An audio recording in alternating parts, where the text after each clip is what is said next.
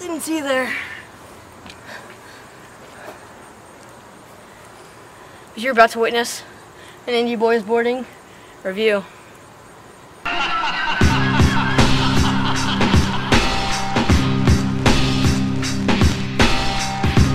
Okay. Ready? Good. Hey guys, my name is Andre. I'm Jack. And today we are reviewing the Omen Mini Sugar. Uh, this board is 31 and a half inches long, 9 inches wide, has a wheelbase of 20 and a half inches long, and is 9 plies of Canadian maple. We're gonna go show you some up close video of the board, go ride it, and then tell you our opinions on how it rides and how it feels.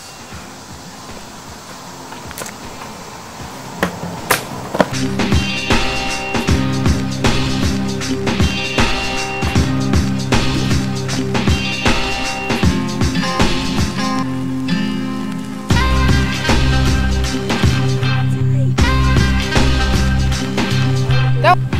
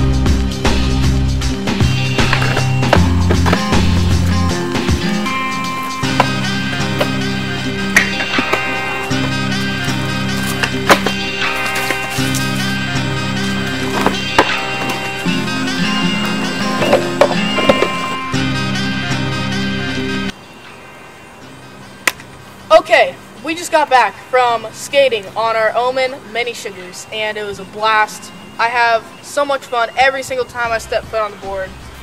I wouldn't really recommend going too fast on the board just because the wheelbase is really short and it is small, but it is fun for a small hill and just putting around and doing like 360s and whatnot.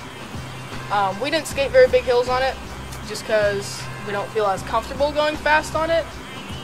Um, the very few cons about the board is that it is kind of heavy. Mine is pretty water waterlogged, and so I think that um, makes it a lot heavier, obviously. But yeah, My favorite part about this board is uh, probably the pocket, and it's like right between the kicktail and like the flares, and it's like dig your foot in there and just, just do nice, nice skids.